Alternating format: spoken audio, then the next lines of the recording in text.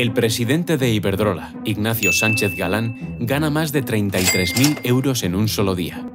Mientras tanto, los menores de 30 en Euskadi ganan 15.000 euros de media al año. Los magnates del oligopolio eléctrico se llenan sus carteras cada vez que encendemos el interruptor. Haz que paguen.